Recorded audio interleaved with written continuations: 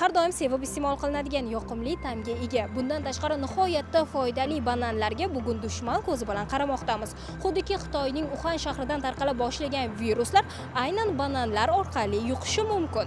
Ishonmayman. Chunki bu havo orqali o'tishi mumkin e, lekin mevadan bo'lishi mumkin emas. Bananni bu virusga umuman aloqasi yo'qda. Banan birinchidan xitoyda yetishtirilmaydi. Yo bo'lmasam hozirgi paytda e, o'zimizda ham yetishtirish yo'lga qo'yilgan. Bananni bemalol yeveringlar maska taqib yursanglar bo'ldi. Man o'ylayman bu virusni asosiy sababchisi asosiy koni bu xitoydagi ovqatlanish tartibi. Lekin buni umuman bananga aloqasi yo'q. To'g'ri virus baribir virusda ehtiyot choralarini ko'rgan ma'qul deysizda. Bu fikringizga ham qo'shilamiz.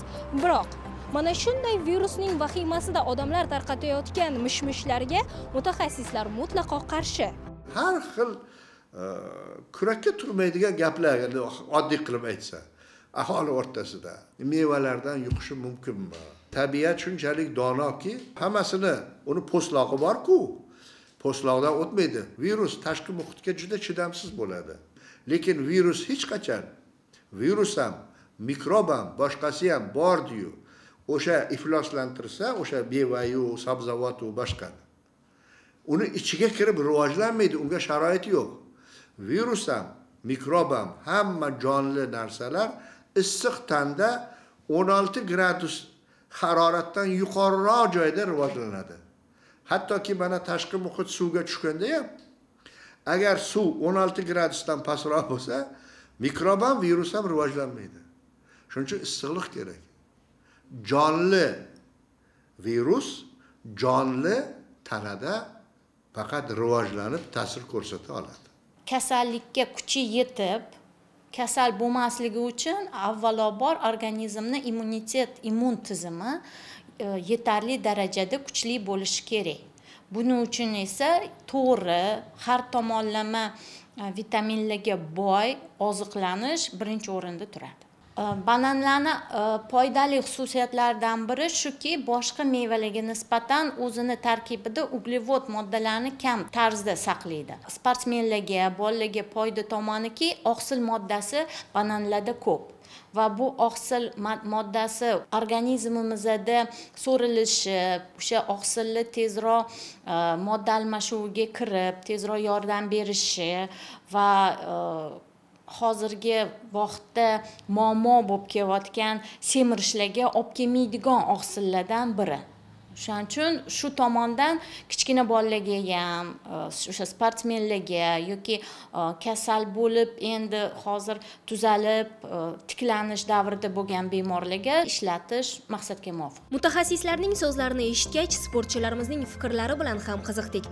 Har kuni ujunga banan beradi zavtrak обед iste'mol qilamiz banan tabiiy protein masalan xitoydaligimizda kuniga o'nta banan yerdik. Xonamiz banan bilan to'lib yotardi. Man o'ylayman banan mevalardan endi o'zimizda tabiiy yetishtiriladigan narsadan endi qanaqasi virus bo'lishi mumkin? Endi bu kulgili bu gap. Vazn qaytargan bola ko'proq o'ziga mana bu suvli narsa iste'mol qilgisi keladi. Ayniqsa mana shu meva banan juda qo'l keladi. Shu ular ovqat yeyishdan o'zini tortsa ham mana shu nimani yesa mana shu ikkita narsani qo'ysa meva bilan ovqatni o'sha vazn qaytarayotgan bular mevaga yopishadi chunki suvli narsada. Shu odamni organizmi so'raydigan narsa hisoblanadi. Bu noo'rin gaplar mevadan chiqyapti deganlar biz sportchilar bu mevalarni tasavvur qilolmaymiz yaqinda e, mish mishlar e, tarqaldi.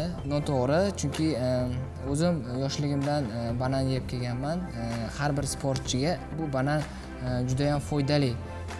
Nafaqat sportchi shu E, sport bilan shug'ullanadimi shug'ullanmaydimi? Kuniga bitta e, banan yeyishi shart chunki u e, odamni organizmini ushlab turadi. Shuning uchun hech qanaqa mish mishlarga parvo bo'lmanglar. Agar xohlasangiz ochib yeb berish mumkin. Ana. Ko'rib turganimizdek sportchilar ovqatlanishga juda katta e'tibor qaratuvchi kishilar banan iste'mol qilishdan to'xtaganlaricha yo'q. Bundan tashqari mamlakatimizga olib kelinadigan bananlar umuman xitoy xalq respublikasidan import qilinmaydi. Biz bu ma'lumotning to'g'ri ekanligiga ishonch hosil qilish maqsadida bananzor brendi ostida xalqimizga banan mevasini yetkazib beruvchi korxonaga bordik. Bananzor o'z mahsulotlarini janubiy amerika qit'asidagi ekvador mamlakatidan olib keladi. Bananlar avval rossiya portlariga tushirilib u yerdan o'zbekistonga keltiriladi. Shundan so'ng bananlar o'zbekistonning bojxona chegarasida maxsus tekshiruvlardan o'tkaziladi. Agarda yurtimizga olib kirilayotgan mahsulotlar shu kabi tekshiruvlardan o'tmasa bojxonaning o'zidayoq chora tadbirlar ko'riladi. Barcha ehtiyot choralari ko'rilgandan so'nggina sotuvga chiqarish uchun ruxsat etiladi. Ushbu bananzor firma mahsulotlarida esa ko'rikdan o'tkazilganligi to'g'risida sertifikatlar mavjud. Bu esa bunday mahsulotlarni bemalol qo'rqmasdan iste'mol qilishingiz mumkinligini anglatadi. Maslahatimiz turli xil mish mishlar tasdiqlanmagan ma'lumotlarga ishonib o'zingiz va sog'ligingiz uchun foydali bo'lgan mana shunday mevalardan voz kechmang.